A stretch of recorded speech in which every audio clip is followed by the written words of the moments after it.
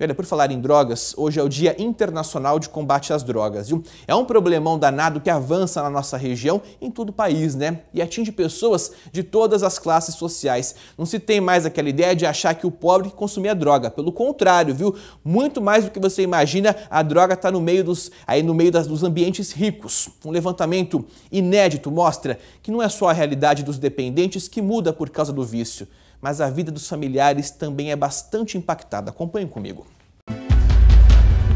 Milhares de pessoas, um só problema: o vício nas drogas. Na maioria dos casos, essa história começa muito cedo e ninguém sabe quando vai terminar. O meu contato com as drogas foi há mais ou menos uns 18 anos atrás, né? Que eu me encontrava ali ainda estudante na escola e ali começou a minha vida ali conhecendo as drogas, né? Infelizmente a vida foi se passando, meu casamento sendo destruído, minha vida sendo cada dia mais e mais eu me afundando na lama e o propósito de destruição.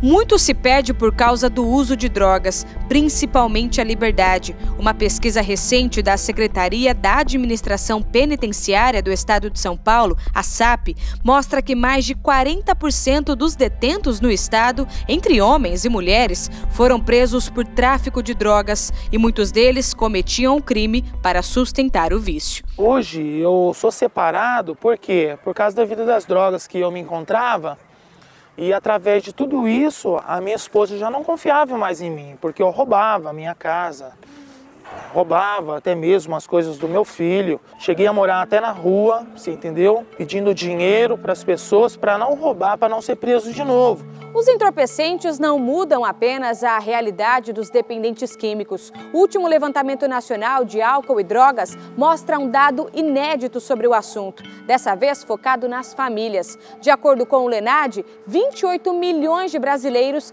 têm um familiar bem próximo que é usuário de drogas. E a vida dessas pessoas também muda radicalmente.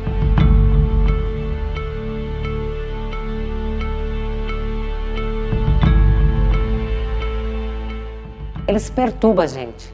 Com as atitudes deles, eles perturbam. Porque eles saem, você não sabe se vai voltar, você não sabe se vai ser preso, você não sabe se vai ter uma overdose, você não sabe o que, vai acontecer. Então, uma família que tem uma pessoa adicta, ela é infeliz. Histórias de superação mostram que é possível recomeçar. Uma delas está neste refúgio em Aracatuba, no noroeste paulista, que cuida de dependentes químicos. O coordenador do local só está aqui hoje porque fez parte dessa realidade. Às vezes as mães, as familiares chegam aqui e perguntam, mas senhor, tem cura? Eu falei, a senhora está olhando para um milagre, né? É, Deus me curou aqui nesse lugar e hoje eu sou um testemunho vivo que isso pode ser, acontecer. Este especialista em dependência química realiza um trabalho para ajudar usuários de drogas a deixarem o vício. Além de ser responsável por uma casa de recuperação, ele também escreveu um livro sobre o assunto e acredita que o tratamento multidisciplinar é o melhor caminho. Sem a medicação, se você não vai tirar ele do surto, do surto psicótico, do, da fissura que ele tem é, pela droga. Há outro momento que ele precisa de um aconselhamento espiritual. Há outro momento que ele precisa de uma conversa com uma psicóloga e por aí afora. Ninguém faz nada sozinho, especialmente na questão da drogadição.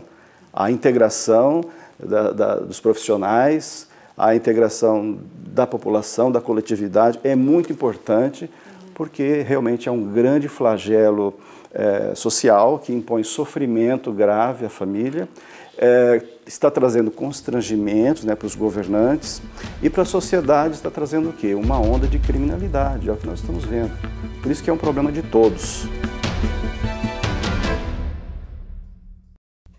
É uma questão de saúde pública, por isso que tem que ser bastante e amplamente discutida. Tem um dado aí de uma pesquisa feita pela Unifesp, Universidade Federal de São Paulo, que aponta aí, que calcula, tem uma estimativa de que para cada dependente químico, outras quatro pessoas ligadas a esse dependente, familiares, enfim, marido, mulher, possam uh, sofrer por conta da codependência, ou seja, também sofrem aí com o dia a dia da droga, mesmo não consumindo entorpecente. Então é um assunto bastante delicado que merece toda a discussão sempre aqui no nosso telejornal.